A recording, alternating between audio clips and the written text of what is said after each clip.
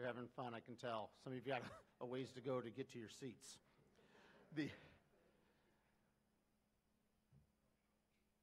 I know we've all been looking forward to this presentation tonight. And it's an important one. And so I asked a person uh, very close to me, someone that I have served on the Boys State staff with for more than 25 years, the person who is the director of the program immediately following, or preceding me, excuse me, who helped to make sure all of you seniors that are in the room would have an opportunity, despite COVID, to experience this program. His name is Matt Dameron. Matt, would you come to the stage? Thank you for being with us tonight.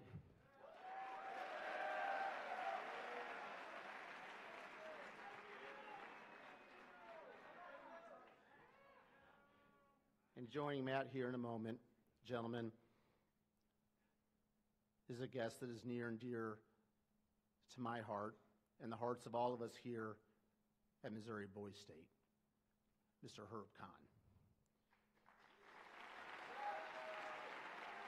Herb is a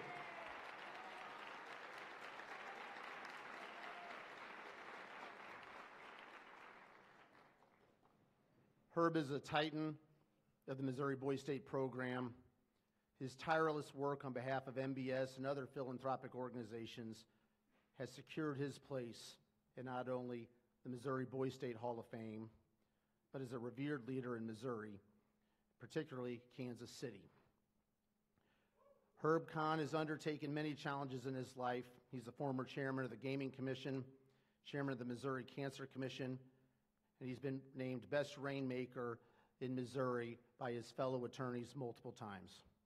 In fact, to give you an idea of the status of the man you're going to hear from tonight, just this week, the Kansas City Art Institute dedicated a building in his honor.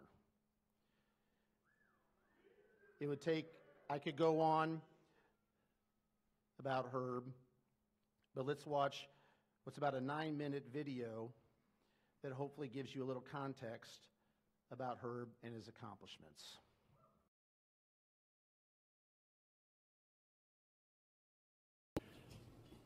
I think four of the most engaging words in the English language are tell me a story. And tonight, Herb Kohn is going to tell you part of his story. It is remarkable. It is inspirational. He doesn't tell it very often. And it's important to understand that his story doesn't stop when he arrived in 1947 in New York at age eight, not speaking a word of English. But the trajectory of his story continues in a way that benefits all of us, our community, and our region. And as you come to know this story, you will understand how compellingly correct it is that he received this award. His contributions to our region are immense, they're varied. He has been intimately connected with Missouri Boys, Boys State, and he is the only living person who has a Boys State city named after him, Kohn City. He has chaired numerous not for profit boards, chairman of what is now Village Shalom, the Kansas City Art Institute, you heard from Tony Jones chair of the Missouri Cancer Commission, chair of the Missouri Gaming Commission, chair of the Kansas City Charter Review Commission, the Blue Ribbon Task Force for Kansas City Pensions Plans. You get the picture. He has, for each of the last two years, received the Missouri Award for Best Rainmaker in the state. He has served as a trustee for the Richard and Annette Bloch Cancer Foundation. Herb is particularly proud of his service on the boards of the Civic Council, the Starlight Theater, Swope Health Services. And I happen to have personal knowledge of Herb's amazing negotiation skills that resulted in Kansas City regaining control of the Union Station in the 1990s. And that allowed, as you know, for its redevelopment into a science museum that is an iconic landmark in our city. And Herb's mediation skills over 15 long months were truly something to behold. In 1986, Elie Wiesel accepted the Nobel Peace Prize in Oslo. And in doing so, he reminisced a bit about his experience as a young child and thereafter with the Holocaust. And this is what he said in part I remember it happened yesterday, or maybe eternities ago. And that very boy turns to me now and says, What have you done with my years? What have you done with your life? One person of courage and commitment can make a difference, said Elie Wiesel. Herb Kohn has made an enduring difference. What are we doing with our lives? What are we doing with our years? And I would suggest there's no better place to look for the right example than Herb Kohn. I've known Herb since about 1955. Suddenly, there was this guy at Paseo High School that all the girls wanted to know and all the guys wanted to know, and it was Herb. He was and is kind of a multifaceted star. I mean, the guy was brilliant, charismatic, athletic. What else is there, right? I'd heard of Herb long before I ever actually met him. He had a reputation as being one of the heavy hitter lawyers in town. He was as impressive as what I'd heard that he would be, but in a most subtle and humble way. Herb is the type of a guy who, if you know his character and background of having escaped the Nazis as a child and come to this country, I believe when he was in third grade, he exemplifies a person who is truly grateful for all the gifts that he's been given in his life. One of his gifts is Nancy, his wife, and when Herb was uh, leading my kitchen cabinet, we always insisted on having breakfast at Herb's house to have discussions, not because Herb was there, but because Nancy was there and she was such a good cook. She's always been at his side, and they also are like a sock and a shoe. They fit well together. I've known Herb for over 20 years and really got well acquainted with him when I was mayor. He was brilliant in terms of strategy and networking, reaching out to potential participants in what we were wanting to do, particularly related to our greater downtown.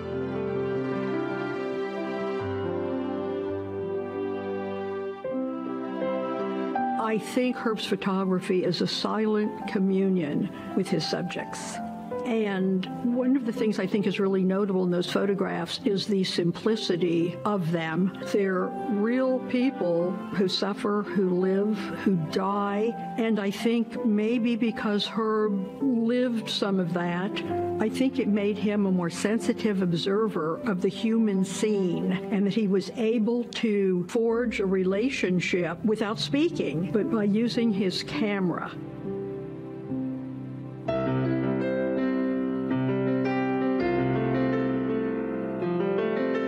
Has been involved in Missouri Boys State for many years. I had the opportunity several years ago to attend a Boys State event with Herb and his wife Nancy. It was fascinating to see the response of all of the other adult leaders in the Boys State effort and also the young men who were participating. It's just one example of so many of how he has something he cares about, is dedicated and follows through in enabling it to be so much more than it might be otherwise. He has made a huge difference, not only in our community, but in our state and beyond.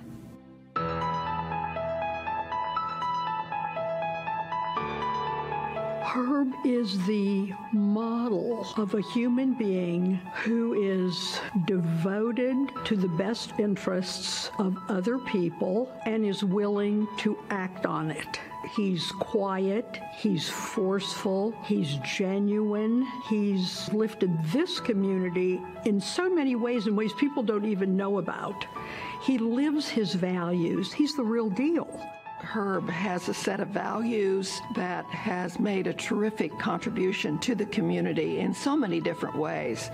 He recognizes the inequalities that still exist, and certainly based on his own personal background, he knows what it means to be rejected, and he also knows what it is to be accepted to really live out his potential. I can think of no one more worthy to receive the Henry Bloch Human Relations Award than Herb Kohn for a number of different reasons. One is, is that as mayor, I had the opportunity to interact with social and civic and community leaders all over the city and around this region on a constant basis. No one, no one was superior to Herb. I had the ability to appoint people to specific things that needed to be done that were critical, toiling in the fields without any fanfare. I appointed Herb to a number of those things. Our work on city pensions, our work with children, things like what he did with Union Station back in the 90s was absolutely critical to this city. He's a guy that I actually love. He's a good man and he's done great service for this city. He's done a lot of things that people won't know about for a very long time, but perhaps tonight they're going to understand how truly great of a man Herb Kohn is. Herb, I, I said all those things just like you wrote them. Um, and uh, I expect to check tomorrow because I'm running low on gas. To the stage, Mr. Herb Kohn.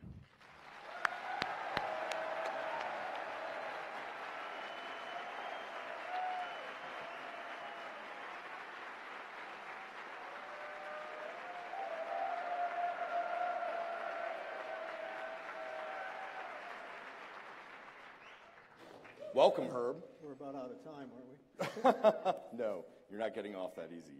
Um, gentlemen, Friday night at Missouri Boys State is special. It's the night that we pivot and we start to turn our thoughts from what has been to what will be. It's the night that we take all of the energy and the excitement of the last week and think about how to turn that into meaning and purpose. And I can't think of a better speaker tonight than Herb Kohn. He personifies the man of the arena that you've been hearing about all week. And we're just thrilled to have you here, Herb. Thank you very much. So, you are, in many ways, Mr. Boys State. You have served in every conceivable leadership position here at Boys State former dean of counselors, former director, uh, former chair of the Missouri Boys State Trust, Hall of Fame, namesake of Kohn City. And we know from that video that there are hundreds of organizations that would love to have your time and your energy and your talents. What's special about Boys State? well, when you, when you listed the uh, positions I've held, you actually left out the most important one. What's that? the one that I enjoyed the most, being an assistant and a city councilor, assistant city councilor and city councilor. That's where it's at. That, that's when you are really into the program with the citizens, doing uh, everything that they're doing. You're doing it with them. And uh, even though the other positions you mentioned are important and the program wouldn't run without them, as far as pure joy of being at Boys State, it was being in a city. That's great. Tell us about your citizen experience. You attended in 1955, right? I did. I'm sure all, all of you remember 1955. you don't? I, I, think I sat right over there. I think it was in Lewis City. That's great. Uh, Lewis City got moved to the back, I see. uh, so I, I was uh, lieutenant governor in 1955, and uh, before I became lieutenant governor, I was active in my party. Uh, I started at the ward level and city, county, and then I ended up being chairman of the state party, and from there I ran for office. And uh, every step of the way was, was terrific. So, what did you take from that week? I mean, how did that influence your career and your life? You, you know, uh, we, we talk about the Boys State motto being a week to shape a lifetime, and it probably isn't true for many of you, uh, but it is going to be true for a lot of you, uh, and it was true for me. I came to Boys State thinking that I wanted to be an engineer, and I was going to go to school back east and, uh, and become an engineer and I didn't know what was going to happen after that. But I got to Boys State, and I signed up for law school, uh, which I enjoyed. And then the director of the program at that time was a lawyer from St. Louis, uh, one of the coolest guys I've ever seen, well spoken, uh, well mannered, had complete command of, of the stage when he was on the stage. And I remember thinking to myself, wouldn't it be something if I could be like him someday? Mm-hmm. Uh, and so I decided during Boy State that I would that I wanted to go to law school. And so that and, and law school is, is what has shaped my career ever since then. So yes, uh, a week at Boy State uh, did shape my lifetime. And we know that week start, started this trajectory for you into law school, into a career, uh, becoming a leading attorney, one of the very top echelon of leading attorneys in Kansas City. Um, you know, when I think about your career and just the tip of the iceberg that we saw here tonight, you know, one of the questions, I've known you for 20 years, but one of the questions that I've always wanted to ask you is why have you never run for office? uh, that, that's a good question. And uh, I never even came close to wanting to run for office. I remember when my career was developing in Kansas City and I was involved in, in various uh, aspects of city projects, uh, uh, economic development projects, uh, charter review commission, investigating the pension plan, which was in bad shape. So I was doing all these things uh, involving the city, and, and uh, I was also county councilor for two years when I was 28 years old. Um, but I never, I never wanted to get into, I never wanted to run for office, and I never wanted to be in office. I got very close to some office holders and, and was very fortunate that they were all good people. And um, if you're, I remember every four years somebody would call me up and say, Are you going to run for mayor? Are you going to run for mayor? And the, and the, answer was always very simple No, I don't want to be mayor. I don't want to run for mayor. Uh, I was very happy uh, being behind the scenes doing what I was doing. But I will say this if you're, if you're thinking about getting involved in politics uh, without being a candidate, it's very important that you choose the candidate that you're going to support. Uh, I happen to make uh, judgments very quickly, and my wife will tell you that probably too quickly. Uh, but I do, and I make judgments about people and about situations and about legal matters uh, almost instantaneously. And, and that's what happened when I met the people that I ended up supporting. I either liked them immediately or I didn't like them immediately. and if I liked them, I said, Yes, I will help you. And, uh, and I did, and I got very involved. I managed some campaigns, one, well, two in, in the Kansas City area, one in the county, and one statewide. So I, and I enjoyed that. I really enjoyed politics, but I don't think I have the patience to be the person uh, that holds a political office. I don't think I could take the constant tugging on the sleeve of, will you do that? will you do that for me? Can I do this? Will you come over and see that? Will you go to? I just, I don't have enough patience to deal with that. So, uh, fortunately, I was able to do what I did in a way that I wanted to do it, and uh, and never have to actually get into the arena. Now, having said all that, you know, you guys are here because uh, you have been in the arena, and if you haven't been, you're probably going to get in the arena. So don't let me talk you out of running for office. We need those people. We need people that support people that run for office, but we sure need people that are willing to get in there and be the candidate and be the office holder. So don't let me talk you out of it. That's great. And you mentioned your wife. We would be remiss if we didn't point out that Nancy Kohn is up in the balcony tonight, along with Phyllis Stevens. Thank you, ladies, for being here.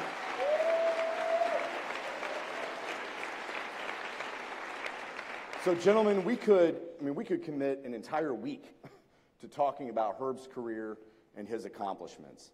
Um, they are lengthy, and, and it's not a stretch to say that Herb, over the course of his life, has been one of the most influential Kansas Citians out there, especially when you consider that he's never held office.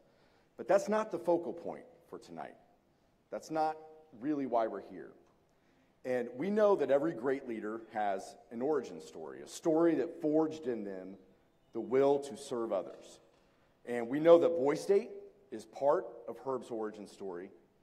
But tonight you will hear the rest of the story, a story that has never been shared at Missouri Boy State before. It is a story of loss, it is a story of tragedy, but it is also a story of hope and survival and the realization of the American dream. So please turn your attention to the screen for the second chapter of tonight's presentation. This evening, I'm going to be telling you my story, my story of uh, growing up in the Holocaust, surviving the Holocaust, and coming to the United States to become an American. Those of you who know me are aware that I have not been inclined to discuss any of my personal background in the past, but it is a part of who I am, and tonight I will share this experience with you, and then I'm going to tell you why I'm doing it. I would like to begin my story with some family background. My grandparents and parents lived in Fürth, which is a suburb of Nuremberg, Germany. Pictured on the screen is the family home on the occasion of a wedding. The picture includes my grandparents and my mother. The home was the center of gracious hospitality and culture. My grandmother is wearing her favorite pin, I mention that because Nancy is wearing that very pin this evening. My mother's family owned a children's book publishing company. My father, who had a law degree, owned two electrical part factories. Life was very, very good. Then Hitler came to power, and life changed for all Jewish people. My grandfather was forced to sell his lucrative business for the equivalent of $100. My father lost both his factories. My sister was born in 1934. At that time, my mother was 24, my father was 36. Two years later, in 1936, as Hitler's anti Semitism was on the rise, my family decided they needed to leave Germany. They chose to go to Holland, which seemed to be a safer place because, well, it wasn't Germany. That proved to be a mistake because Hitler and the Nazis marched into Holland and took it over without, without ever firing a shot. Life for Jews in Holland was no different than it had been in Germany. All Jewish people over the age of six were forced to wear a yellow armband with the Star of David prominently displayed. Jewish people were no longer allowed to eat in restaurants. They were not allowed to go to movie theaters. And although they were allowed to ride on public transportation, they had to stand even if there were seats available. Two years after my family moved to Holland, I was born. So I was born in Amsterdam. My early life was, as you can imagine, the only one I knew. My first bed was a dresser drawer. I soon began to learn an important lesson, which was to accept whatever was handed to me without question. My parents and grandparents were strong and loving, and in subsequent years, this strength, love, and courage allowed me to live what appeared to me to be a normal life. For example, I was not aware that I had no toys. I was not aware that going outside to play was not an option. When I was four, a family decision was made to move again, this time to Switzerland, which was a neutral country. The plan was to cross the border from Holland to Belgium and then take the train from Brussels to Zurich. The border crossing trip was to be made by bicycle, with me riding on my mother's bike and my sister riding on my father's bike. I was told that on the trip I was to behave and to say nothing. And even though it was summer, I remember having on three layers, which included an outer jacket on which the buttons had been replaced by gold coins wrapped in cloth. I still have one of those gold coins. My grandparents were to travel separately and meet us in Brussels. Well, things did not go as planned. We were stopped at the Belgian border and arrested. We were told to follow the German soldiers to, to the uh, police station on our bikes. The person who had been our guide up to that point was taken away, and we never saw him again. My parents hoped that with the payment of a fine, or bribe, if you will, the Germans might let us go. But unfortunately, we had no Belgian money with which to pay such fine. So on our journey to the police station, my mother whispered to me to get ready because we were about to fall off our bicycle. And we did, and I still have a scar on my leg from that fall. While my mother pretended to have fainted and was lying on the ground, my father went into the farmhouse in front of which my mother had chosen to fall. He exchanged some Dutch money for Belgian money It was obviously a usurious rate, but the scheme worked. My father paid the fine, and we proceeded on our way to Brussels in Belgium. However, the delay at the border caused us to miss our train to Switzerland, and as a result, we remained in Belgium for the next four years. As we had done in Holland, we moved countless times, living primarily in attics and basements. Some people took us in because they thought it was the right thing to do. Other people took us in because we paid them. My mother and grandmother worked for the people who took us in by cleaning their homes, and they performed odd jobs. I remember one of them being the scaling of fish. We remained in hiding for about four years, and I continued to accept this as that's just the way it was. The primary difference between uh, our experience and the Anne Frank experience was that we continued to move around while the Frank family stayed in one place in Amsterdam. It was during that time that I developed traits which are still with me today. For example, the Germans had developed a weapon which is called the V 2 bomb. The V 2 bomb was rather crude compared to weapons later developed. The V 2 bomb would travel for a certain number of miles, then the motor would stop, then the bomb would fall and explode. The traveling V 2s were very noisy. So if we heard the noise above our house, we knew we were safe because the bomb was still moving. If the noise stopped, we knew we were in harm's way because it was about to fall and explode. Because most of these bombs came in the middle of the night, I learned to sleep on the edge of my bed so I could be ready to run to the basement from the attic when the V2 noise stopped. The basement in one house had a coal cellar, which must have been considered the safest place to be. However, the coal cellar was very dark and very tight and very claustrophobic. To this day, I still sleep on the edge of my bed and I am still claustrophobic. We never had much food, sometimes no food, and certainly no desserts. I had not seen nor heard of ice cream. I do remember getting a special treat for my birthday one year, which was a piece of bread lightly covered with margarine and sprinkled with a little sugar.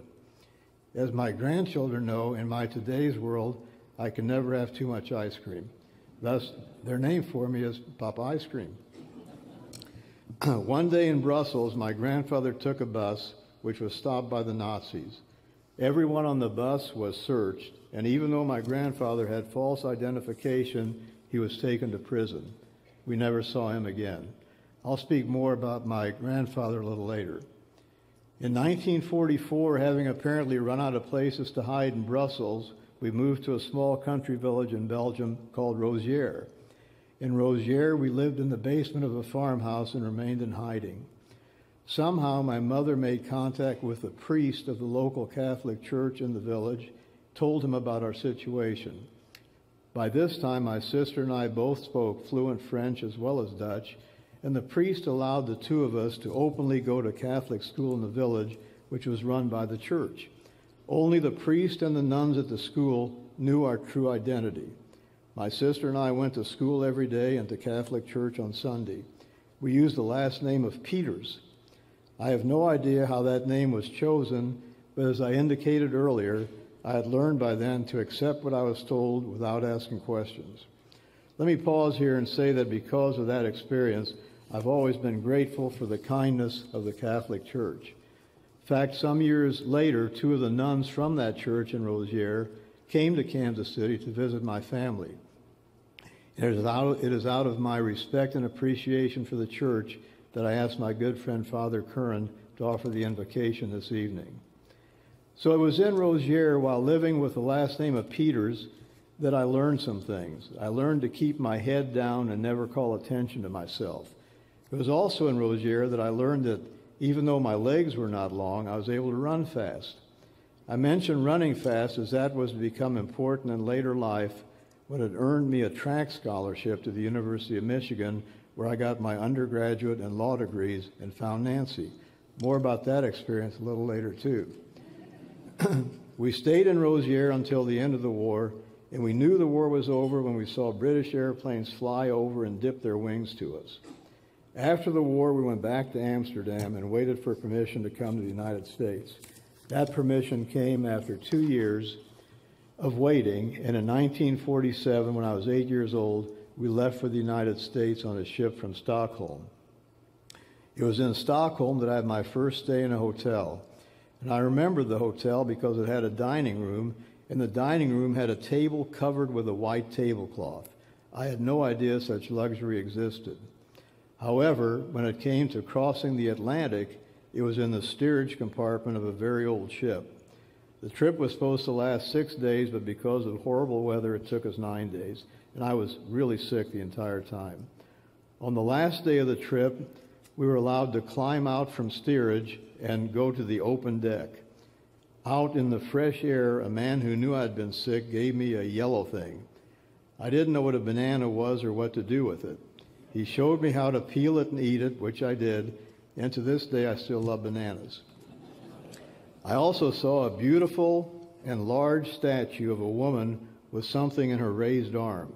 This was my first lesson about the Statue of Liberty, and my new life in America began. After landing in New York, we stayed in the city for 60 to 90 days while arrangements were made for our move to Kansas City. Kansas City was chosen because our sponsor, Paul Ullman, lived there. Now, while we were in New York, life was not easy. I spoke not one word of English and therefore was unable to communicate with anyone at the school I attended. The school required that all boys wear white shirts. Well, I did not own a white shirt, and so I wore one of my sister's white blouses. I was laughed at and did not know the reason for the laughter, and that hurt. But I really wanted to adapt, and when kids want to adapt, they can and they do. We moved to Kansas City, and within a year, I spoke perfect English with no accent and had totally blocked out all my Dutch and all my French. What I knew was that I wanted to be an American. By the way, much later in college, I took a course in French thinking it would all come back. It did not. so, as I said, it was the Ullman family who acted as our sponsors so we could move to Kansas City, and it was the Ullman family who jobs for both my father and my mother. But for the Ullman family, I would not be standing here today. I also spent several summers working for the Standard Milling Company, which was owned by the Ullman family, and got to know one of the sons, Pat Ullman. It was Pat Ullman some years later who heard that I was engaged to be married and insisted on interviewing Nancy before that marriage could happen. As I recall, she passed inspection. So you've pretty much heard the rest of my story in Irv's introduction and in the introductory video, but I need to add one segment. After receiving my scholarship to the University of Michigan, I also joined a fraternity where I made numerous lifelong friends. I was asked to participate in a number of weddings of my fraternity brothers, and one such wedding was in Detroit. Several of my fraternity brothers and I took our dates to a movie theater the night before the wedding. As I walked into the theater and looked across the lobby, I saw the most beautiful girl I'd ever seen. I met her and decided she was the one I wanted to marry. It turned out her name was Nancy, and now, some 60 years of her being my everything, she's still the one I would choose.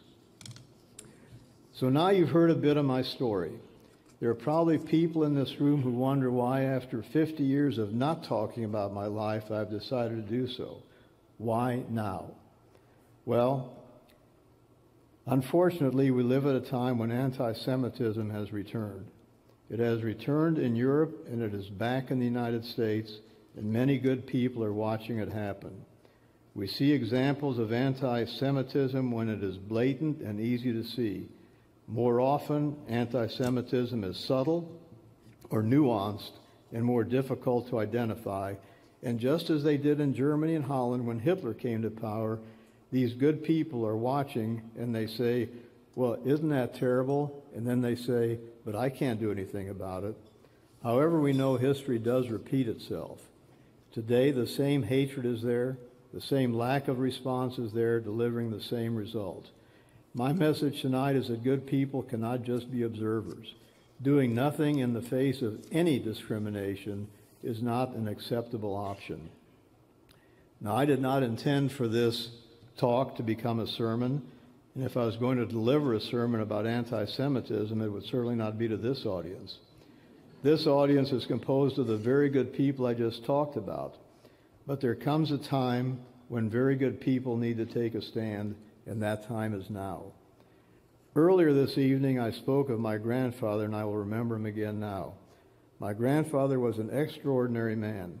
I told you he was taken from a bus in Belgium and sent to prison.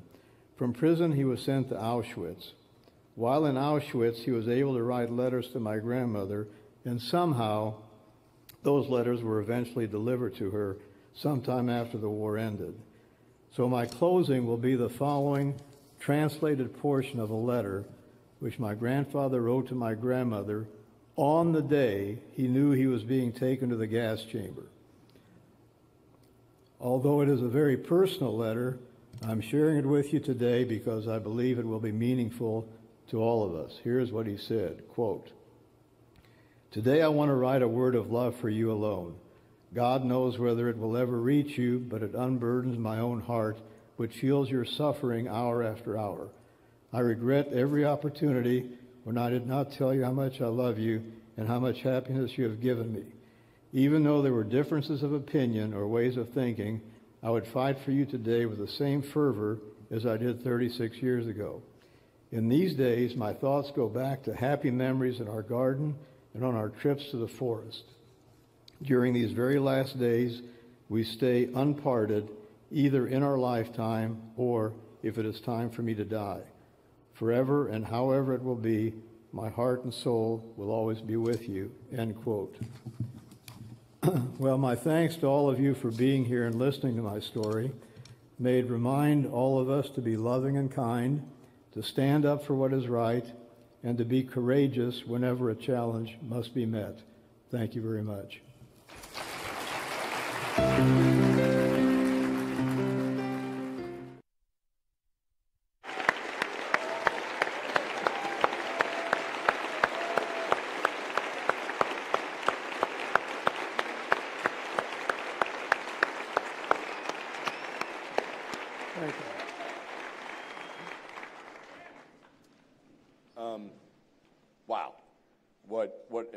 Story. You referenced this in the video a little bit, but I'm going to ask you again why now? You know, it's not something uh, you've talked about a lot. It's certainly, you know, you've been part of the Boy State family for decades. That's the first time uh, most of us have heard that. Why now? What, what compelled you to come forward now? I, I think that uh, from the from the very beginning of my life in the United States, I was always one to look ahead. I never wanted to look back. I knew what was back there; it wasn't good. Uh, I wanted to start a new life in a new country with a new language, with new friends, uh, and I did. And I and I didn't want to do what I was going to do, whatever that was. I didn't at that time. I didn't know what how it would turn out, but but I knew I didn't want to. I didn't want it to be because of what I had been. I wanted it to be because of what I was now doing and what I was going to do.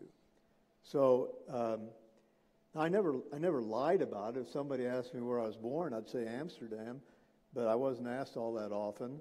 And uh, and and if somebody asked me about my background uh, at, at, a dinner, uh, I would tell them some of it. But uh, I, I never wanted it to be a factor in what I was doing in America. You know, here at Boy State, um, the Boy State programs in the United States were founded in part as a response to Hitler's youth program. And one of our core values, really the core value here at Boy State, is that while we are nonpartisan, we are very pro democracy. What do those What do those values mean to you, given your background? Well, everything. Uh,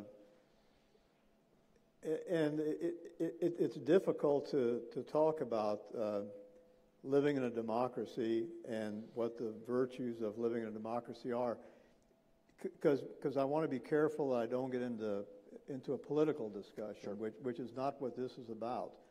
It, it's about it doesn't matter what your party affiliation is. This is about being a good person, and as I said in the in the speech, the speech was given, by the way, a year ago uh, November in Kansas City at, at a uh, dinner where I received an award. And that, that was the first time that I spoke about my background. And, I, and um, Matt asked me if I would give the speech at Boy State, and I said no.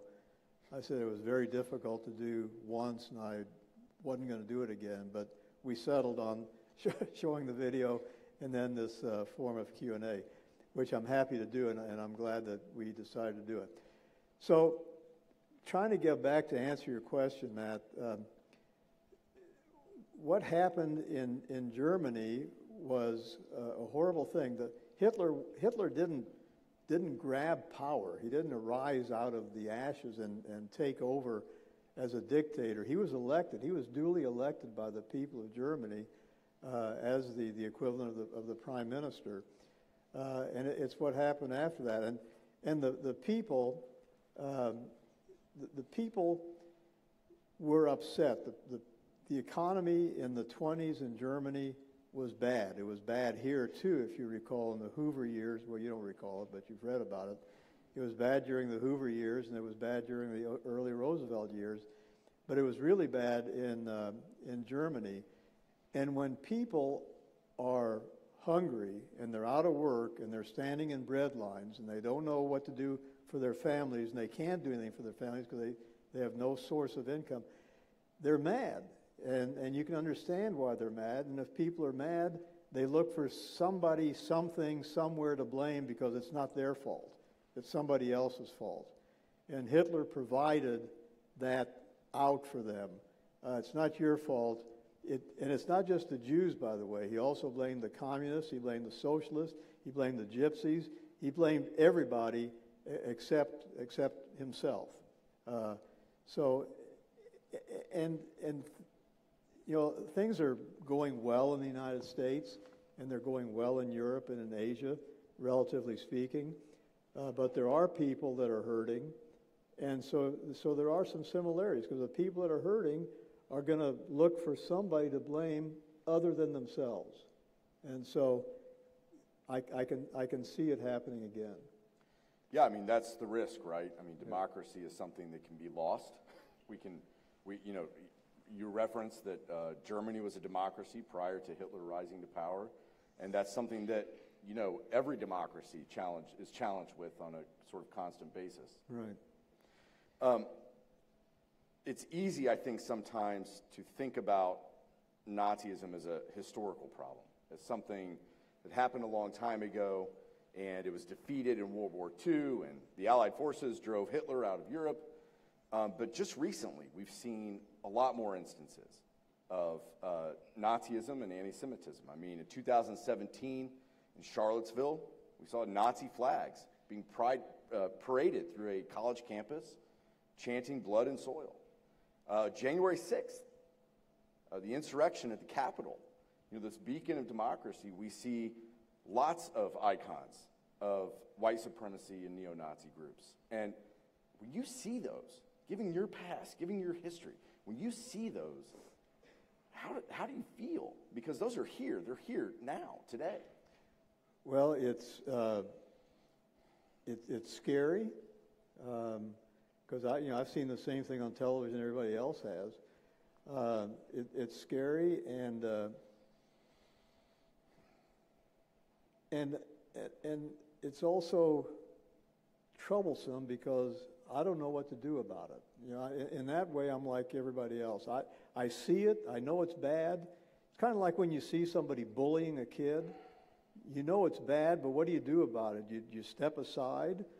Do you uh, do you confront the bully? Do you get in a fist fight? I'm, I'm not suggesting you do any of those things, but, and let, and let me get on my soapbox for a second, because you guys uh, are leaders in your community. You, you've already shown that, or you wouldn't be here. Uh, by virtue of the fact that you've been to Boy State, you're going to be looked on even more as leaders.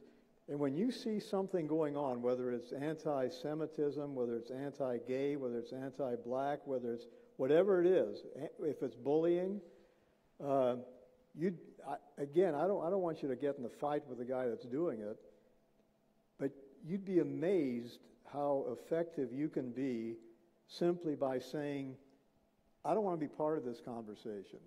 or I don't like what you're saying, I'm leaving, and walk away. You'd be amazed the, the impact that that has, just one person doing that. And, and if you could stay and see what happens after you've walked away, uh, y- you'd see everybody else starting to say, oh, you know, he's right. Uh, he sh- this guy shouldn't be doing that. And, and all of a sudden it's over. But, but you can't do nothing. Doing, doing nothing is, is not an option for where you are today and uh, with respect to what you're going to be seeing during your early and later lives, because this doesn't stop just because you're no longer a teenager, you're no longer in college. It, it goes on. Uh, but do something. Don't, don't, don't do nothing. Uh, I read a quote the other day. I told Matt uh, by Elie Wiesel, who you heard Irv Hockaday uh, mention before. Elie Wiesel said, and I just saw this a couple of days ago, that um, the opposite of love is not hate. The opposite of love is indifference. So don't be indifferent. Don't go all the way. Don't go overboard, but do something. That's end of, great. That's end of my soapbox. I love your soapbox. It's great. um, and that's actually a great place, I think, to pause and start taking questions from the audience. I want to get to as many questions as possible from you all. So we'll start over here.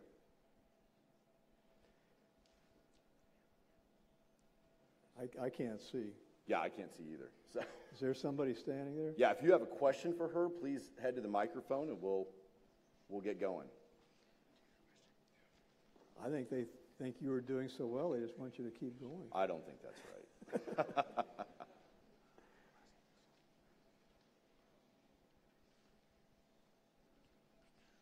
All right, we'll start on this side. Uh, Thank you. Uh, My name is Joy Burke. Uh, Here's my question. Um, Where, where, where are you? Oh, I'm right here. On my right? Yeah, Okay, right, all right. The 20th century was perhaps the fastest century ever recorded. From enhanced technology to frequent tragedy, it seems that the progress and violence of man exponentially accelerated. How did you find meaning in the 20, 20th century, and how do you suggest we find happiness and meaning in an ever more eh, in an ev- in an even more fast-paced world today? That's, that's an interesting question. I, I'm, I'm not sure that the pace of the world has much to do with, uh, with our happiness or with the problems we confront. They just happen a little bit faster. Uh, but I, I think the uh, underlying issues that people face, whether it's the 18th, 19th, 20th, or 21st century, really haven't, haven't changed that much. We've, we, every century has had its wars, every century has had its great loves, its, its great theater, its great art. Uh, it, it just, we just see it a lot faster today, just like uh, the, the telecommunications is a lot faster today. But I'm, I'm not sure that I would think it's all that different. Thank you.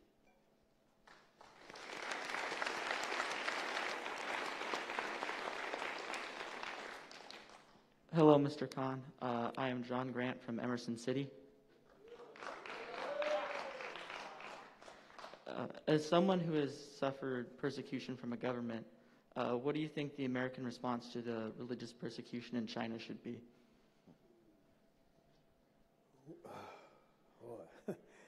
Well, whether it's China or the United States or, or France or wherever it is, or Africa, uh, it should be the same. Uh, I don't think the, that the United States is ever again going to be able to dictate to another country what, it, what the people there should and shouldn't do, whether it's, whether it's China, Russia, or, or our friends. Uh, I, I think those days are gone. And I'm not, I'm not sure that, frankly, the United States wants to do that uh, again. Um, I, I'm not sure what the result would be. But we certainly can let people know that we don't approve of the anti uh, human, anti whatever it is that they're practicing over there. Uh, but we, but we got to be careful too because, uh, you know, just last week or this week, I guess, uh, President Biden uh, complained to to uh, President Putin about what was going on in Russia, and President Putin said back, "Yeah, but what about your January 6th uh, resurrection?" So Uh, you know, we're, we're not, uh, we're not lily white, uh, we're not pure, but that doesn't mean that we can't see and recognize what goes on in some of these other countries and take, and take a strong stand against it. Can we, can we solve it? Probably not. Thank you.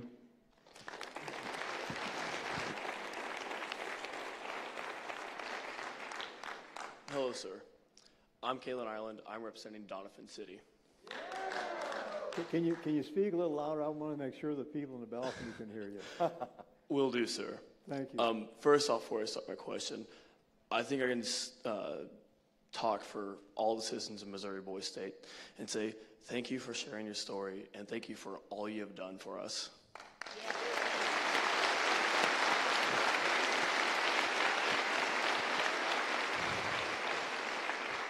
can I, can I respond to that before you ask your real question? Um, what, what I've done for Boy State doesn't, doesn't hold a candle to what Boy State has done for me. Uh, I, I love Boy State. Uh, some of my best friends in the world I got at Boy State, and, and, and they've stayed very close friends for all these years. So uh, I've been involved in Boy State, but Boy State has given back much more than, than I've ever uh, given to Boy State. And by the way, let me let me say one other thing. I'm, I'm sorry for keeping you from your question, but uh, a handful of you will be invited back on the staff next year or the year after. Uh, if you're one of those, don't say no. Uh, it, it'll be if you think if you think Boy State was great, uh, being on the staff is truly great, and uh, it'll be one of the best experiences, if not the best experience of your life. So say yes. Sorry, go ahead. Uh, don't worry about it, sir. Um, no, locked out. I, I remember it. I remember it. Sir, in your mind, what is the biggest threat to democracy and how can we defend it? Democracy. The biggest threat to democracy? Is that the question? Yes, sir. Okay. Phew.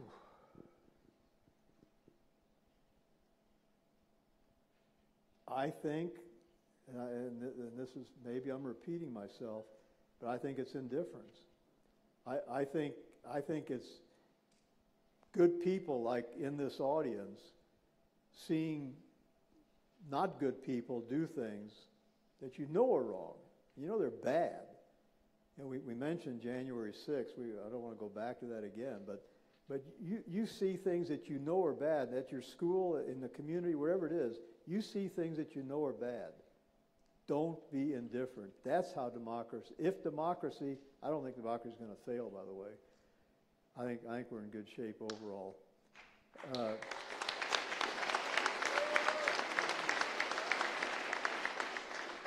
But, but if we have issues, it'll be because good people turn aside and don't do anything. Let me interject. How, how, how much of that indifference do you think contributed to the rise of Nazis in Germany?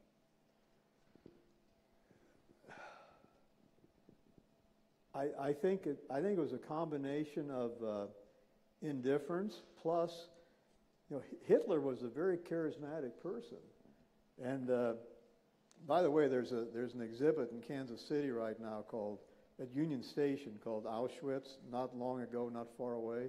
If you get a chance to see it, you should see it. Uh, but they have pictures on the wall of tens of thousands of people standing in in a, a square worshiping Hitler. You know, and if Hitler says bow down, they bow. If Hitler says jump, they jump. I mean, he had that kind of control over them. Uh, so it wasn't just, in that case, it wasn't just indifference. They bought into it. They thought this was a wonderful thing. And, and when, uh, I don't think it was Hitler, but when Kristallnacht came, which you may have read about, where the people of Nuremberg went around and, and destroyed all the Jewish shops and burned all the books. Um, that, you know, that, was not Hitler leading that parade. They, they took that on to themselves. So it, it, it was contagious and it spread, and uh, after a while, it just developed a life of its own. All right, this side. Hello, Mr. Kohn. Uh, I apologize for my voice. It's been a long week. Good. Uh, my name is Justin Kennedy. I am from Weir City. Um, you've been through hardships in your life that hopefully none of us would ever experience. Um, and you're a part of a world that's ever changing around you. Do you have any advice for us to deal with the challenges um, of the world around us?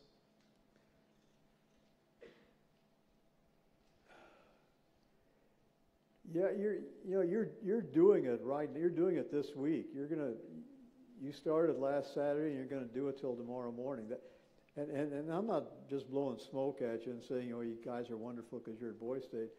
The, the fact is, uh, you have proven yourselves, uh, and, and you will continue to prove yourselves. Um,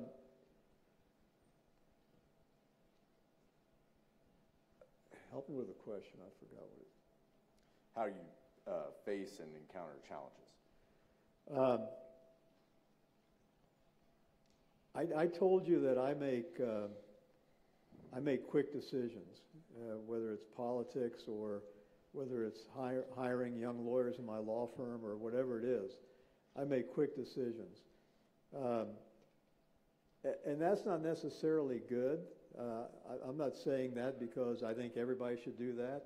Uh, in fact, I think you should take your time and, and weigh the pros and the cons, and then uh, uh, make make your decision based on the facts as you know them.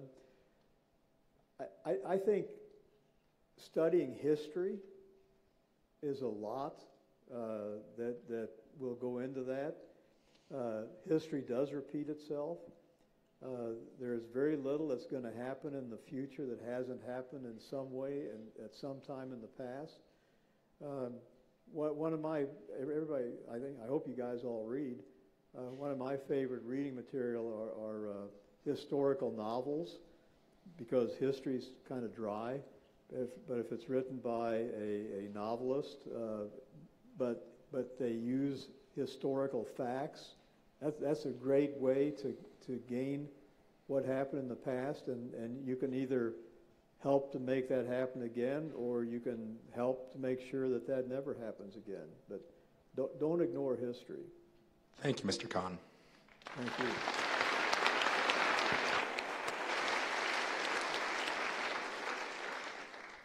Good evening. My name is Devin Whaley from Donovan City. and my question is when and how did you learn about the full extent of World War II and the full extent of Hitler's reign? That, that's a great question because you think, well, he was there, he should know all about it. Well, I didn't. Um, you know, my my job was just getting through life one day at a time, one hour at a time. Uh, I didn't have the lu- luxury, if you want to call it that, of standing at 30,000 feet and observing everything that was going on uh, below me. That, that didn't happen. My, my life was okay, you, you get up and you uh, maybe you eat a piece of bread, maybe you don't that morning. And, uh, and when we're in Rosières, you go to the, to the Catholic school and you keep your head down all the way and you don't draw attention to yourself. And, uh, and then you come back home and we'll tell you what to do when you get home.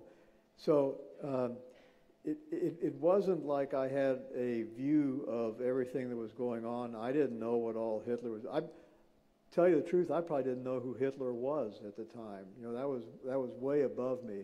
Uh, my my life was uh, just getting through the getting through the my time uh, one day at a time. So I, I think it wasn't until way after the war when I came to Kansas City, uh, or at least to the United States and probably to Kansas City, that I started learning about it. And of course, once I once I started, I, I read everything I could about it, uh, and still am, by the way. Uh, I just just finished another novel about people who helped Jews uh, escape in uh, in France and uh, Holland, and then, and there were many, by the way. It wasn't just the the nuns and the priests at the one church that we went to. There are people all over Europe that were that were helping, and and not because somebody paid them, but because they these are the people that didn't turn away. These are the people that said, yeah, I got to do something. I, I can't do nothing. And they did. Thank you, sir.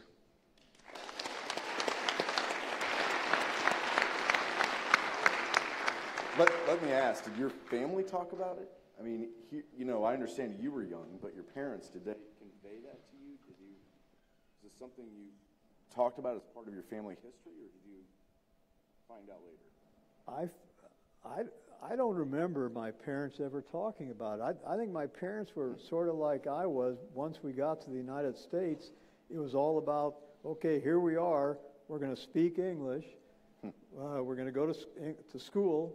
We're, we're going to, uh, you know, we're going to go to work. Uh, at some point, we probably bought a tel. Well, I know we did. We bought a little black and white television set, uh, and, and we watched the news then. But it, it, was, it wasn't about okay. Now we're here. Let's let's review everything that's happened to us uh, for the last ten years. It was more about let, us keep moving forward, and uh, and, and maybe we maybe you can buy some shoes, and maybe uh, you know, uh, well fortunately, I got a track scholarship, so they didn't have to pay for college. But uh, you know, let, let's do these things that we can, looking ahead, and and that's that's kind of what our life was.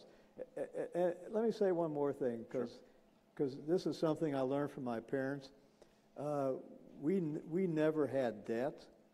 We probably had a mortgage on our house, but we never bought anything that we couldn't pay for. And, uh, and I think that was a great lesson that, that I learned, and, and still uh, Nancy and I live by that. We've, we've never bought anything that we couldn't pay for. That's great. Mr. Kohn, my name is George Fries, and I am from Gamble City. After visiting Holocaust museums in both Germany and the United States and, realize, and realizing how poor my formal education on the subject was, what can we as citizens and possibly future politicians do to make sure everyone knows and understands the struggles of Jewish people and other persecuted peoples both today and in the past so we can move forward into a brighter, more equal future for all? Well, that, that kind of says it all, doesn't it? Um, that, that, that's what that's what this is all about. And eh, you know, and, and we've talked about Jewish people and anti-Semitism, but but that's just that's just one of the antis that we're facing today. And I don't I don't even know if it's the biggest one. Uh, you know, the the uh, anti-gay uh, movement, which is maybe a little bit better now. I don't even know if it is or not. The the racial issues that are not better, as far as I can tell we, we, we've got a lot of anti things to be concerned about. And, and, and, they're not going to go away without, without you guys. Uh, you guys doing something about it. Uh, no, you can't, you can't turn the country around, whether you're a politician or, or just a high school or college student. But, but you can do something. Uh, you, you, can, you can go through life not being indifferent to these things so, again, I'll go back to what I said earlier. You, you don't have to go way out. You don't have to say, I'm going to knock your block off if you don't stop calling my, my friend uh, black or whatever you want, whatever, gay, whatever you're calling them, But, but you certainly can let them know that that's not you and you don't like it and you're not, and you're not going to participate in that discussion with them. Thank you.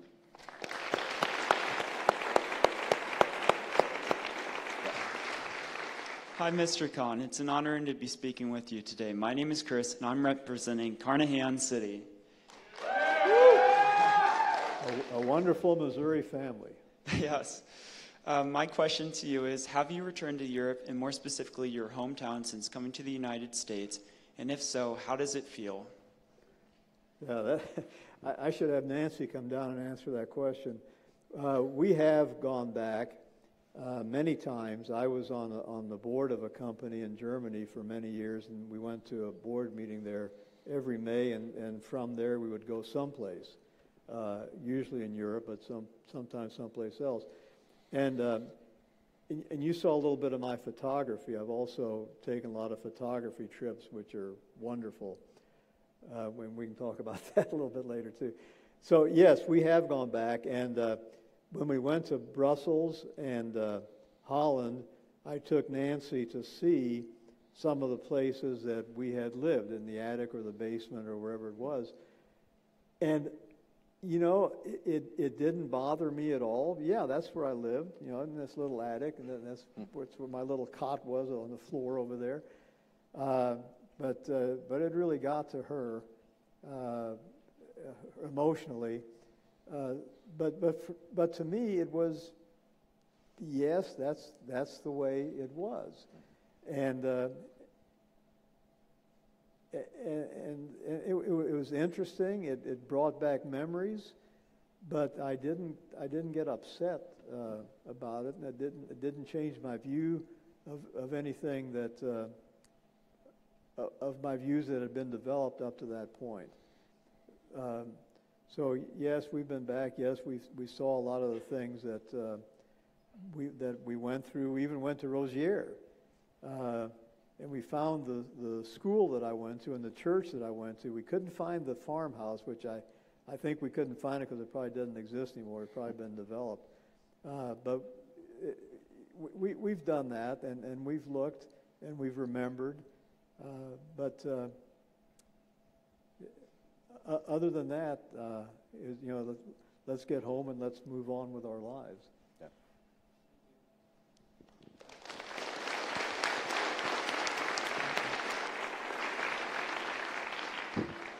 Hello, Mr. Kohn. I'm Matt Key, a representative of the Honorable Kohn City. Yay! Yay!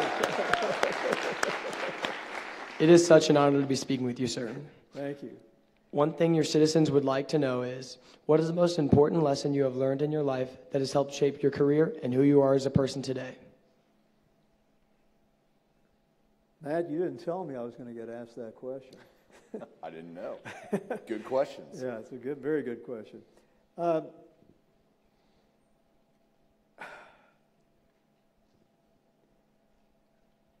I think the lesson that I've learned is, is that even though my, my life in the United States has been a, a wonderful life, and you saw that on the on the move, on the uh, video, I've had a wonderful life.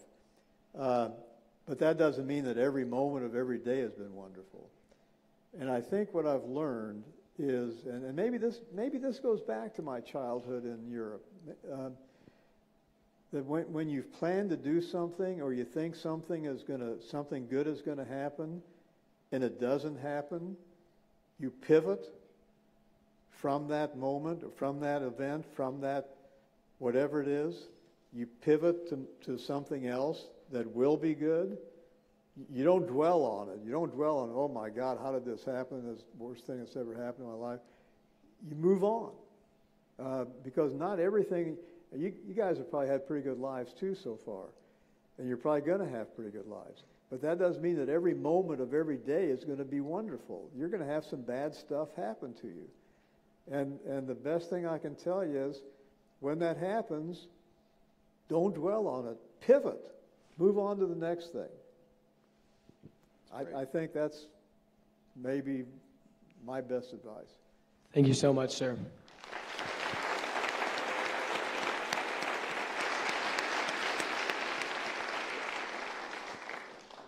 Uh, hello, sir. It's such an honor talking to you tonight. Um, my name is Ian Mannings, and I am from Pershing City. Um, when transferring to Kansas City, what was it like to uh, adapt there once you got there? Was it easier than adapting in New York? Uh, it, it, was easier for several reasons. One, because by the time I got to Kansas City, I'd picked up a few words. You know, I could say okay uh, and thank you. Uh, I, I, still didn't speak the language very well. And I remember uh, I got here in third grade, and, and my third grade teacher made me, at Christmas time, I had to sing Christmas songs in, in Dutch or French. I can't remember which, or maybe both. Uh, but, but the people, the people in Kansas City were very nice. Uh, you know, there, there's Kansas City nice, as we call it, or Midwest nice, as we call it. Right. And then there's New York, New York, and they aren't the same. Uh, so coming to Kansas City, the Midwest, if you will, uh, what was a good thing for us, and it was a good thing for me. Uh, I remember some kids in third grade offered to help me learn to read after school because I really couldn't. And so I remember sitting on, on somebody's uh, stoop and uh, with, with a book, uh, you know, not even a third grade level book, probably a kindergarten level book, and, uh, and they were teaching me to read. Um, the other thing that helped me, I think, is uh, I, I've mentioned before that I was able to run fast, and I, and I was. So, uh, you know, in, in, in grade school, you have recess, and at recess, you do stuff that involves running. And uh, so I, I uh, attracted some good attention uh, by being able to run fast. And, and I think that helped me overcome other things that were going on. But, but uh, yeah, Kansas City compared to New York was, uh, was, was very different and, uh, and very good. And it didn't take me long to get to love Kansas City. I still love Kansas City. And we've lived in other places uh, and spent a lot of time in other places. but when that plane lands in Kansas City, I feel good.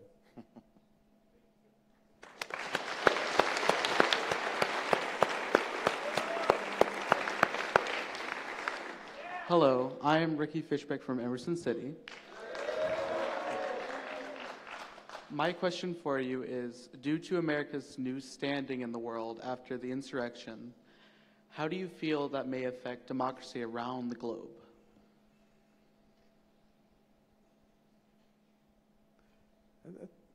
That's a, I don't know if I know the answer to that. Um, I, I, I, think uh, it, it, it, certainly didn't help us, um, but I, I think maybe, I, I don't know. I think maybe, you know what? I don't know the answer to that. I'm not, I'm not going to guess at an answer that I don't know. So I, I don't know. I don't know what impact that'll have on other democracies. I assume that they've got bigger things to worry about than what we do over here. Uh, so I, I, don't, I don't know. It certainly didn't help.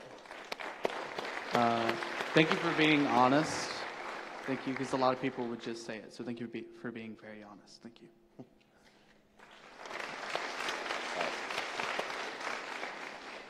Good evening, Mr. Kohn. Uh, my name is Henry Holden, and I'm representing Crowder City.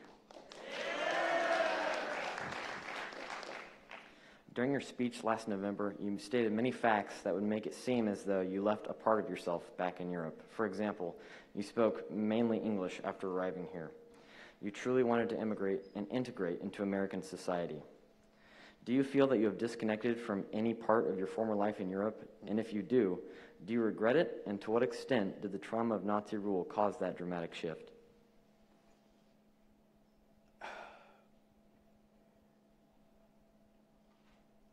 You guys ask really good questions. uh, I, I, when we when we travel back to Europe, especially if it's to Holland, um, you know, I feel like, you know, this is where I was born. I, sh- I should be able to connect to these people. I can't even talk to them. I mean, when I say that within a year of being here, uh, I blocked out my Dutch and my French, I mean, I blocked it out. I mean, it was like I never spoke it. Uh, and, and you heard in the video, I took French in college thinking, well, there's an A. Uh, didn't happen. I was like everybody else in the class.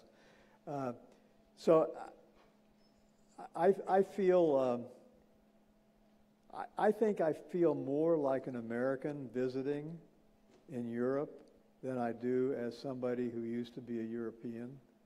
Uh, and, and is that good? Is that bad? I don't know. But I, I think I've become so Americanized that uh, going back there, I don't feel like this is where I used to be. Well, I, I, well, I, I know this is where I used to be, but I don't, I don't feel like th- this is my country. I feel like the United States is my country, and I'm, I'm just visiting uh, over there. I Thank think you, Mr. that's how Carr. I feel.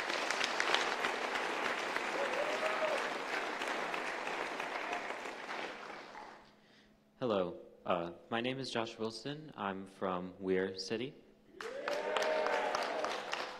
Uh, before I ask my question, I just want to say uh, what an honor it is to have you speaking for us tonight and to be able to ask you this question. Uh, so, Thank you. Not, Uh, Nazism, and by extension, white supremacy, is objectively one of the most dangerous ideologies that has ever had a grip on humanity. The internet has been crucial in pulling more and more people down that dangerous, dangerous path in recent years. What do you believe is the most effective way for young people, like all of us here, to actively combat extremist propaganda online or to pull others away from that place?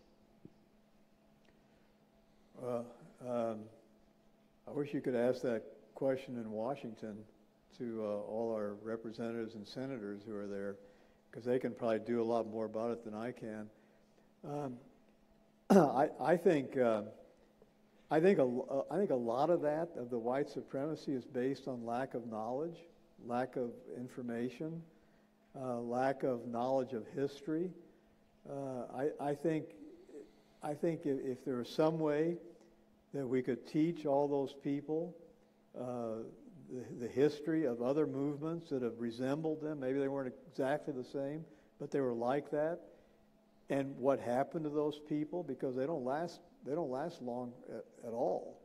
Uh, you know, and something else may come up, but but the, these movements come and go.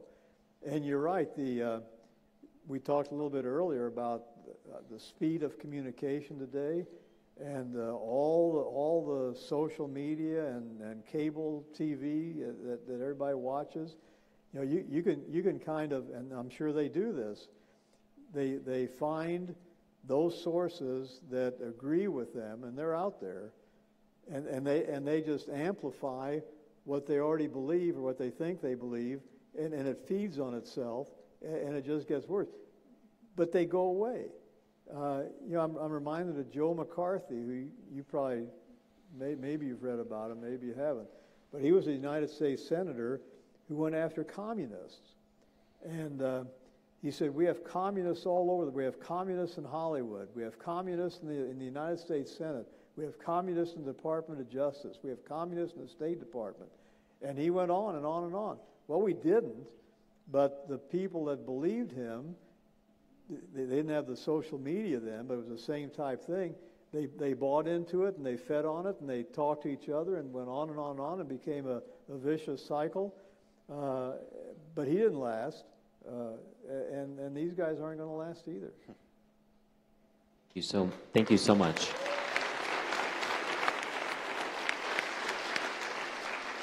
All right, we'll do one more question, then we'll wrap up. Go ahead. Uh, uh, hi there, my name is Mason Gates, and I represent Clark City. Uh, first of all, I'd like to say thank you for sharing your story. And second of all, I'd like to say thank you for hiring my mom many years ago. Uh, also, oh wait I'm, a minute, who's your mom? Uh, her name is Stacy Gates. She oh my a... gosh, you got a great mom. thank you.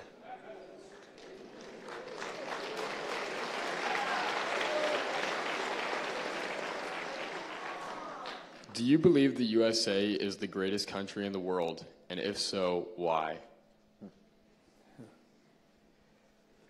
You know, there, there's a video on YouTube that's circulating where, uh, who's the actor that played in the newsroom? And then he went on to play uh, To Kill a Mockingbird. I, I, can't think of his name. But uh, there's a video of which you should look up of him being asked that question by a college student. And, and he goes off on a rant about how the United States is not the greatest country in the world. It used to be. Uh, and, and, he goes on and on, on and gets very specific about where we rank in education, where we rank in this, where we rank in that. And, and, he, and he makes a, a compelling argument about why it isn't. And then, of course, he ends it by saying, but we can be again. Uh, I don't share that view. I think the United States is the greatest country in the world. Uh,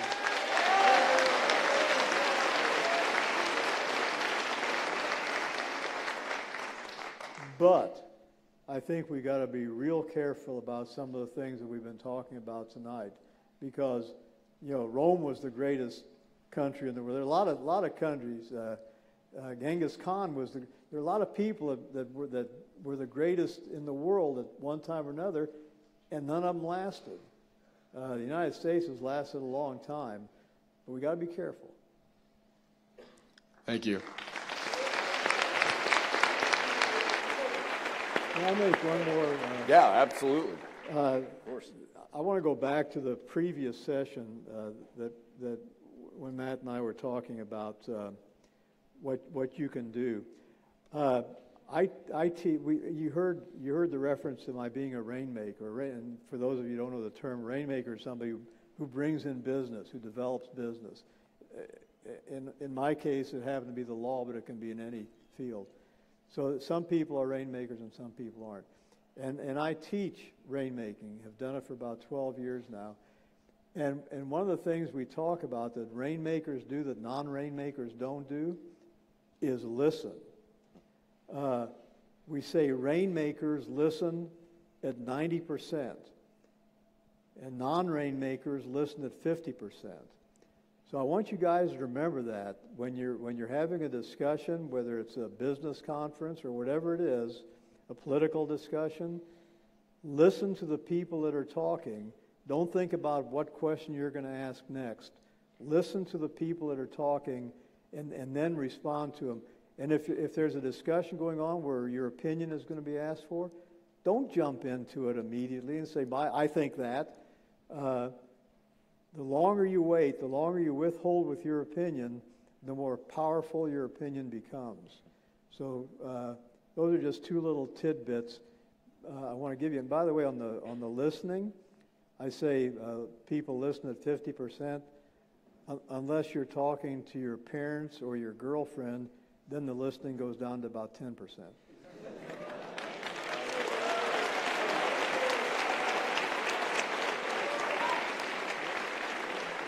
Well, guys, that's, that's a great place to end our evening. Herb, thank you. You have been a stalwart for Missouri Boys State for decades and decades and decades. And for you to come here tonight and share this story is just truly remarkable, and it's exactly what these guys need to hear. And it's a great way, a great way to end this week and be a capstone to your session at Missouri Boys State. So thank you, Herb. Well, thank you all for letting me do it.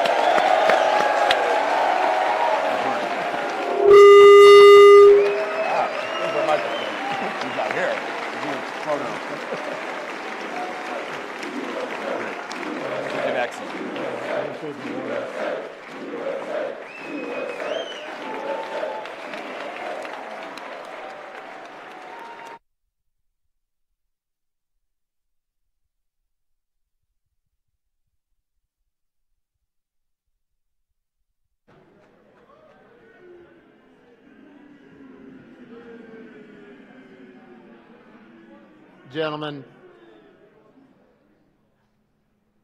I promised you an incredible evening. Bless you. and I think that's what we just had. That was a moving story. As Herb explained, it wasn't an easy story to tell. That's why we showed you the video. But we wanted you to see it because it's an important story for all of us to hear. Our country is almost 245 years old. And sometimes it's easy to think that it'll always be here. It'll always be the same. But our democracy is not guaranteed, gentlemen. It must be protected. And if there's one theme that I want you to take away with you this week, is that it is up to all of us in this room to bend ourselves to the task of ensuring that our democratic processes and that the shared values of our great nation live on for another 250 years. Herb Kohn has put himself to that task. He stepped into the arena so that the young men in this room could inherit a country where a youngster could come to our shores speaking no English and through hard work, perseverance, and determination achieve great things. And now it's your time to continue his work.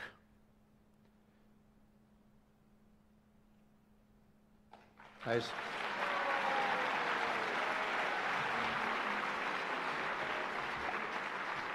And, and I pause there not, not to draw your applause, though I appreciate that you support that message, but to give you an opportunity to reflect on what you just saw, what you experienced this week. And so, what we'll do next is I want our video guys that you've seen working tirelessly to document this incredible program that you all put together, have one more video for you. And then we're going to turn it over to your final episode of local news. I know you're looking forward to. And then I'm going to release you to the most important meeting of the week, your final city meeting. So, with that, I'll turn it over to the video.